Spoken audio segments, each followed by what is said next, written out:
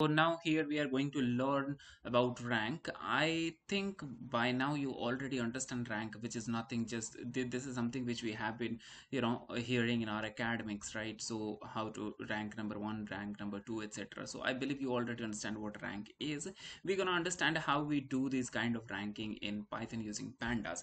So not only ranking, I will be telling you, I would also tell you what all are the methods of ranking. So there are four four different ranking methods in pandas which we use starting from average mean max first and dense in fact five ranking method i'm sorry i said just four. There are five ranking methods which we're gonna use in pandas right? Not only this after that i would also explain you how can you do the ranking by a group right? And if you want you can also show the ranking in terms of percentile.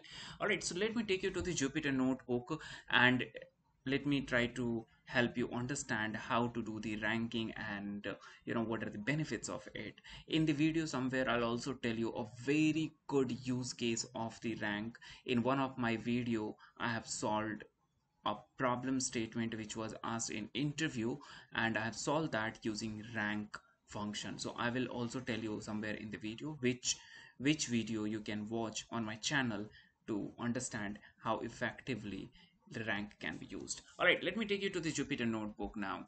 So here we, uh, we are here we are on the jupyter notebook and here i have already taken one rank. I'm just going to remove that and i'm going to run this this right? So here in the data frame you can see here i have the employees names and their salary. Now let's start with a very basic problem statement where we need to do the ranking basis on salary which means we simply want to rank that person who has highest salary as number one rank number one. And the lowest one is rank number last whatever the rank it comes right? So like there are 10 rows into here so the last ranking will be 10 now let's just quickly start that. How can we do that? So for that the column first first of all what we need to do is use the data frame name and then the column on which you want to find the ranking right? So that column for me is salary. Now on that you simply need to use rank and that is it. So here you got the rank. Now it is not uh, helping you understand for which it is for which employee what ranking is. So what you can do is in the data frame i'm going to create another column. I would say default rank okay? Default rank. And now here i'm going to print that data frame. Now it makes more sense. Now if you can see the 10th ranking is given to those to that person who has the highest salary and number one ranking is given to that person who has the lowest salary. Now this does not make sense but it's absolutely on you. If you want to see it this way you can see it this way. If you want to change it the other way you can do that also. Now our problem statement is we want to give ranking number one to that person who has the highest salary. How can we do that for that? Here we're gonna say ascending. Just bear with me. I just thought of auto completing it. That's why it is taking a lot of time. So here i'm going to say ascending equals to true. Let's do that oops sorry not true but false. Here I should have to do false right? So now if you see it says the the person who has highest salary which is Rohan is ranked number one right? So this is how we do the ranking. It's you see how simple is that. Now let me make a little bit of challenge let, let me put some bit of challenge into it okay all right. So now you see here i just changed the i just put same salary for next three persons. Let me see let, let me show you how the ranking gets changed for this thing right? Now if you see over here. All right. So here what we see for the people who have same salary right? You see 47 47 5 5 4 3 5 4 7 5 4 3 5 all of these three persons are getting ranking number 5 why is that so? Let's understand that okay? Let's understand that why is that happening.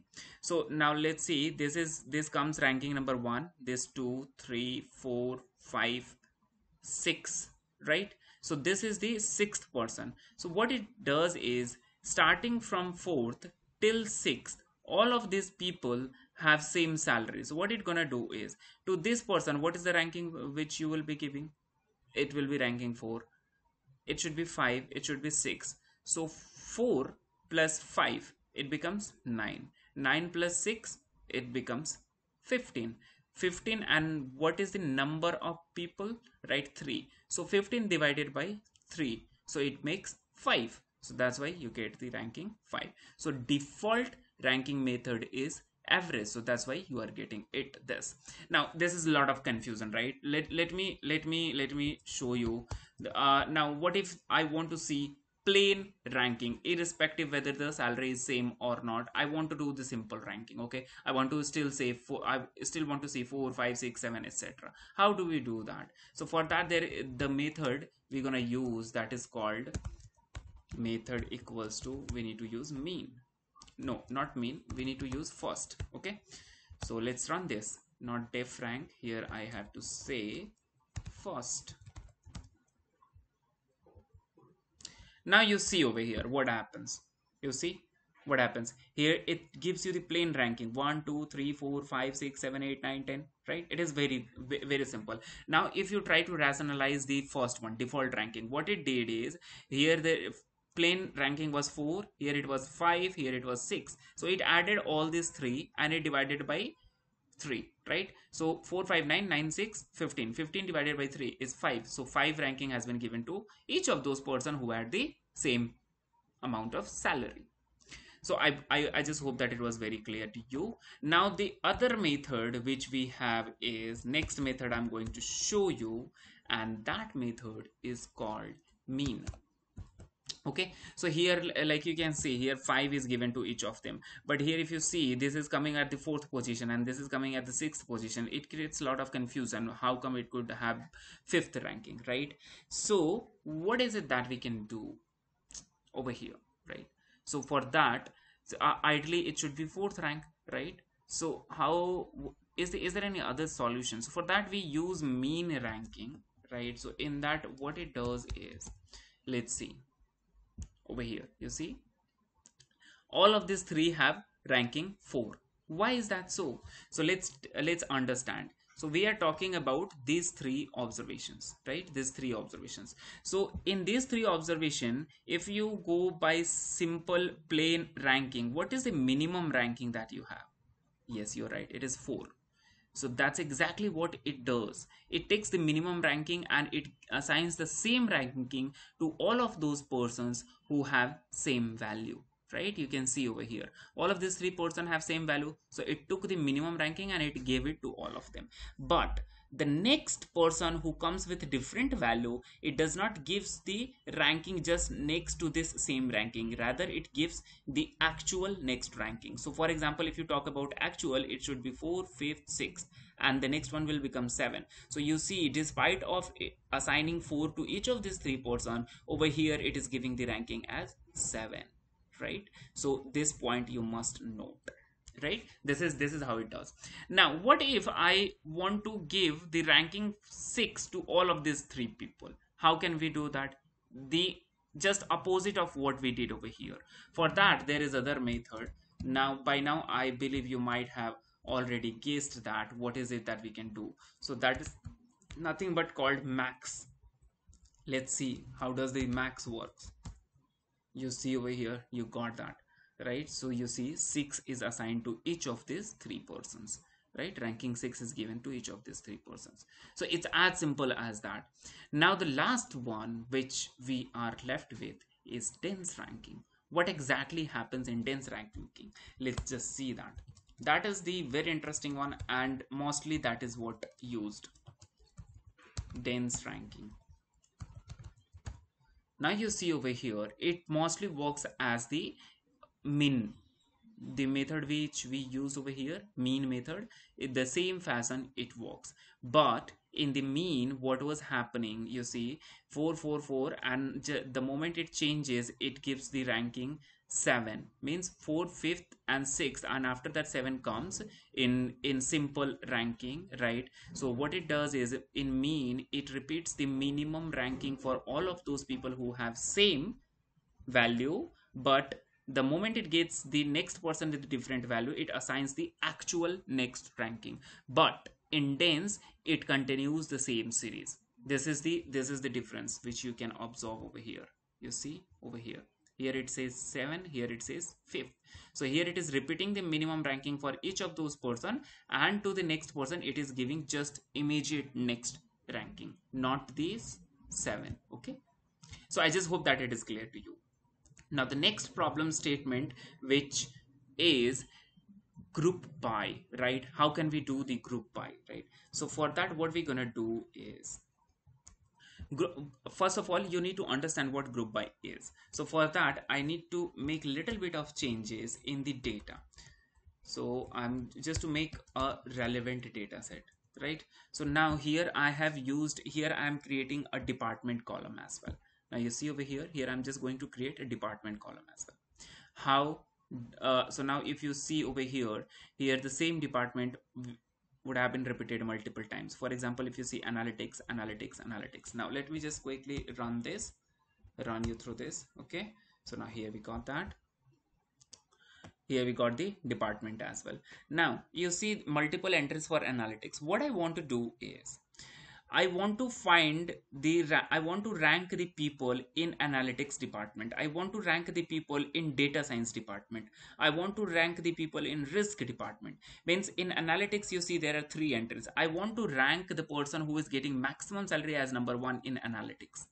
So here I want to do the ranking by department. How can we do that? So let me try to help you understand. So for that what we're to do is df dot group by and into that what is the column that we want to group on? Department right? And what is the column that we want to use for ranking? That is salary. And then you simply say rank okay? Let's just see that. Oops. It just gives an error.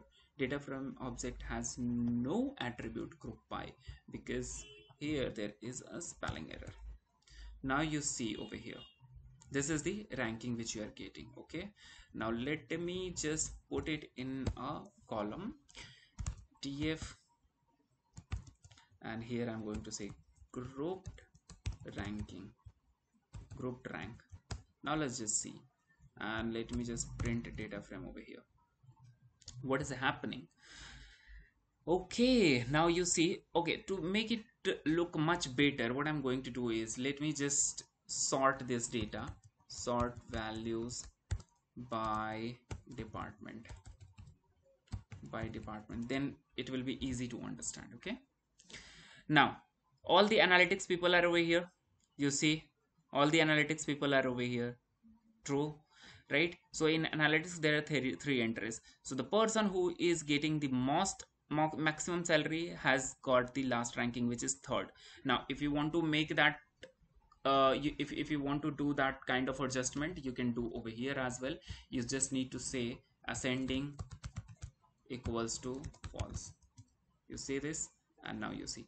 In analytics the person who is getting the maximum amount of salary is ranked number one then two and then three. Right? You got that. Same way in data science now you have one and two. In hr there is one entry.